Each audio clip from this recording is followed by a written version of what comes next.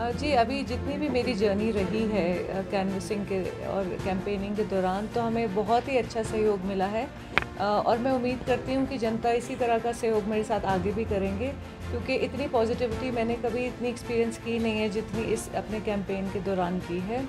कुछ रीज़न ये भी रहा है कि जो मेरे हस्बैंड थे, यहाँ के पूर्व पार्षद इंद्रजीत सिंह जी, उनके काम काफ़ी लोगों ने सराहे हैं अप्रिशिएट किए हैं और शायद उसी वजह से ये रीज़न है कि मुझे उस स्वरूप ये प्यार मिला है इस वॉर्ड से। तो क्या लगता है जी इश्यूज़ तो जो हमारे मेन मुद्दे हैं, वो पहली तो एम यही है कि हमने इस वार्ड को